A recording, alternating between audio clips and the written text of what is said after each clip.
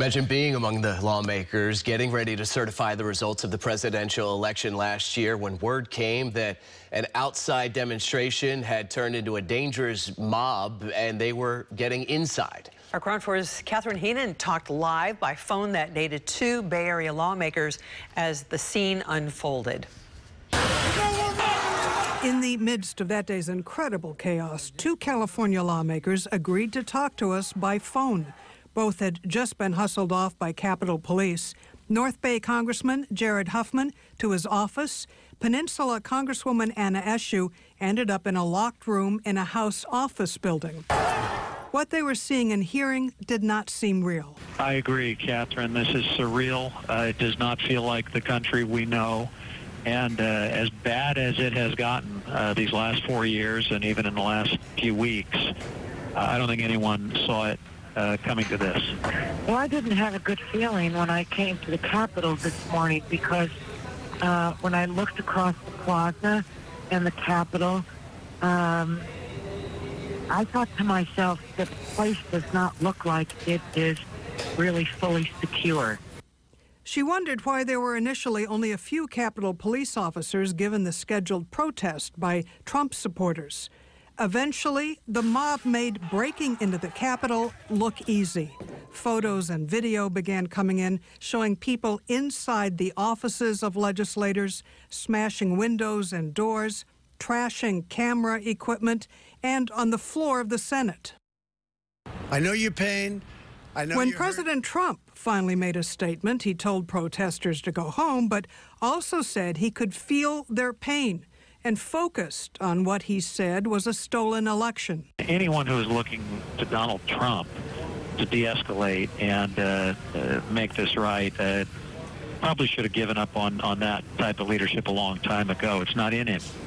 If I could uh, impeach the president today, I would. Congressman Huffman called this sedition. Congresswoman Eshoo was angry with some of her Republican colleagues. A conversation earlier today, uh, Congresswoman uh, said, you know, maybe lawmakers on both sides of the aisle just so appalled by everything that has unfolded today. I don't today. know how appalled. I don't know how appalled my Republican colleagues are. Really? oh, well, that's. Yeah, no. I want to hear more about that. I didn't see, I didn't see any hand wringing. I didn't see any hand wringing. In fact, we had to say to them, would you please put your mask on?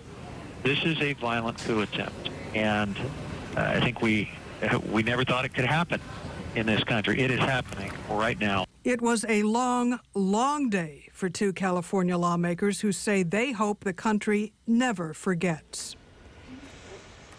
Well, Catherine uh, talked to the same two legislators today, one year later, and she joins us now live. Catherine, you know, they say time heals all wounds, but has it?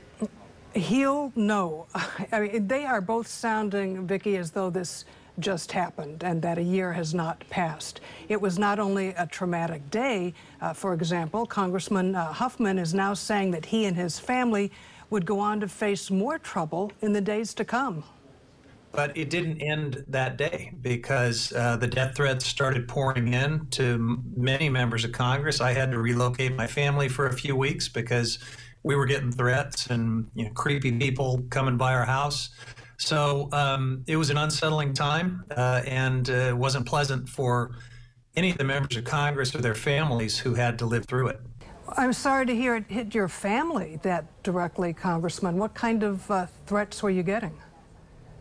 I don't want to be too specific, Catherine, but uh, you know they were um, they were very direct uh, in threatening the safety of myself and my family, and making sure that uh, I understood that they knew where we lived, and they laid out what they wanted to do to us pretty clearly. So um, that's unsettling.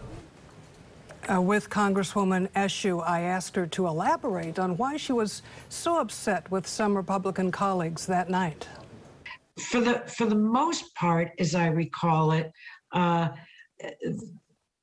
most members were, um, I would say, traumatized. So we were all experiencing it, but there were there were a handful that uh, uh, that weren't, and uh, uh, that was deeply unsettling to me. What the most unsettling thing in in the hours that followed, uh, when the Speaker called the House back into session, she said, We have to demonstrate to the American people and people around the world that our democracy uh, is working. Uh, and we will have the vote on the uh, accepting uh, the electoral ballots. That two thirds of my Republican colleagues voted against that.